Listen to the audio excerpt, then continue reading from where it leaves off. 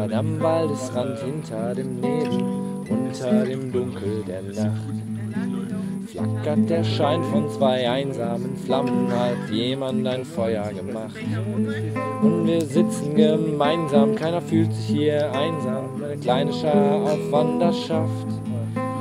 Denn dort bei den Flammen kommen wir gerne zusammen und schöpfen für den nächsten Tag Kraft. Bald ist die Glut heiß und Schweigen wird breit und schnell ist die Stille vorbei.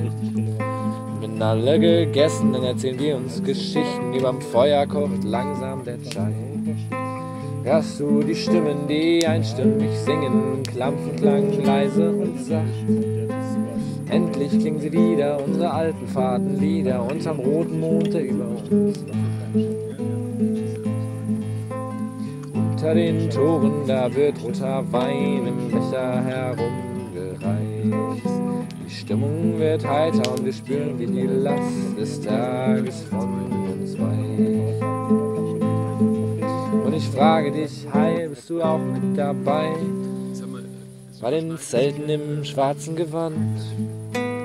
Hier unter der Nacht wird Gemeinschaft gemacht, denn hier unten liegt unser Jurtenland. Denn hier liegt unser Jurtenland.